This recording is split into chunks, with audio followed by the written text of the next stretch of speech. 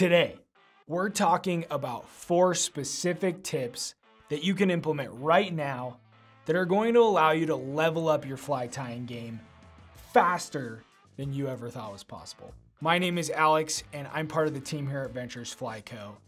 And these tips are gonna help whether you've been following along since the start of our beginner fly tying masterclass, or if this is our first time meeting each other, stoked to have you here. This is module five, and we're gonna be covering a bunch of tactics on how to level up your tying skills and become a self-sufficient tyer. Meaning you're gonna be able to seek out any pattern that you wanna tie and make it happen. So let's just dive right in to tip number one. Practice, practice, practice. Now, right off the bat, this might seem kind of obvious, but in our world of instantaneous gratification and search results, this often gets overlooked. Let's just think of the best fly tyer that you know. Whether it's that guy that you follow on Instagram, that channel that you're subscribed to on YouTube, or that guy that just lives down the street that's been fly fishing for 40 years. Those guys didn't just wake up one morning and, wow, I'm really good at fly tying all of a sudden. They've put in the reps, they've put in the practice, they've probably tied thousands, tens of thousands, maybe even a hundred thousand flies in their lifetime. And so it's just like any other skill. You gotta put in the time, you gotta put in the reps, you gotta put in the work to become really good at something. And so let's just imagine that you tied one dozen flies every week for the next year. You will have tied 624 flies. It'd be pretty unreasonable to say that after that many flies, you're not going to improve. In fact, I would argue that you're gonna improve a lot.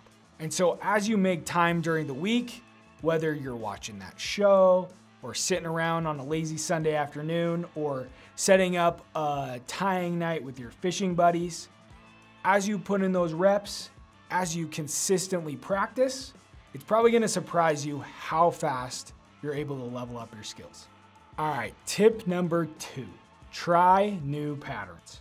So a couple summers back, I was browsing through my fly box when I was on the river and I picked out this pheasant tail that had a really cool like slate gray CDC collar. And so I tied it on and man, I caught fish after fish after fish. It was like a freaking fish magnet. When I got back from the river, I was like, I gotta tie some of these up. But I wasn't super familiar with CDC. I hadn't used it very much. And so I picked up a bag of feathers and I found an online tutorial. But right off the bat, I started having issues. I would get to the end of the fly and the stem of the feather would pop right out of the thread every single time. Determination, grit, whatever you want to call it. I burned through about half the bag of feathers and I found three or four other tutorials that explained it in a different way. But ultimately, I persevered. I tied up about 12 ugly looking flies before I finally had that one beautiful CDC collar pheasant tail. But now, I know how to tie up a nymph with a CDC collar. And so, if you never challenge yourself with a new pattern or a new material, you're never going to improve. Let's say you're really good at tying nymphs. That's what you tie the most often. It might be time to try out those dry flies that you've been avoiding. That, that parachute post is not as hard as you think it is. Or maybe you tie up dry flies, you tie up nymphs all the time. Let's try that crazy looking articulated streamer. As you go outside of your comfort zone, you're gonna level up your fly tying skills. All right, tip number three, get creative. So last summer, the VFC crew and I, we planned this epic trip to a remote, crystal clear cutthroat stream up in northern Idaho. And it was caddis season, so leading up to the trip, I was like, I gotta fill up my box with some new caddis patterns. I did some research online and I found three or four that I thought were pretty interesting. And I looked through my bin of materials and I just didn't really have exactly what was needed for those patterns. So I was like, I'm just gonna make something up. I'm gonna create a new pattern. I grabbed a curved nymph hook and a big copper bead, some green elastic, and some fluffy hare's ear UV ice dub type dubbing. It didn't look exactly like those caddis patterns I had found online, but it was pretty similar and I thought it looked pretty good. So I put three or four of them in my box and we headed up to Idaho. And little did I know that this fly was going to be a game changer, man. I was out fishing everybody on the entire VFC crew. This thing was dynamite. Let's not forget that the reason we're tying up flies is to catch fish. As you mix and match different techniques or switch out the color or try a new material, you're not only going to level up your tying skills, but you're probably gonna put more fish in the net. All right, tip number four is get feedback from others.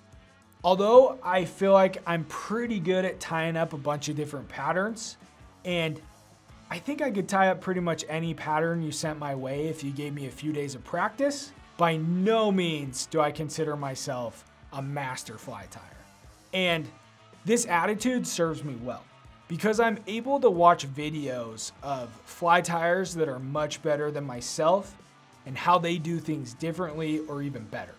And I'm able to take those things that I learn and use them to improve the way that I tie certain patterns and not get stuck in a rut. And then another thing I love to do is when I'm with experienced tyers is to actually show them my flies and ask them how I can improve. In fact, a little while back, I'm out on the river with Spencer, the guy that does our podcast and a few of our other videos.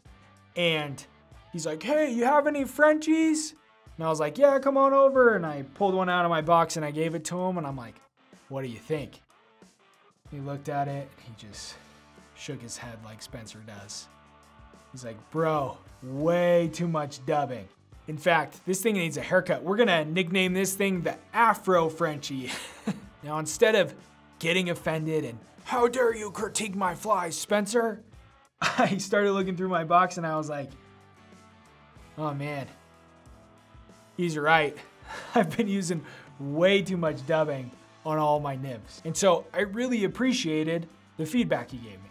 But ultimately, the thing that matters most and the best judge of our fly is gonna be the fish.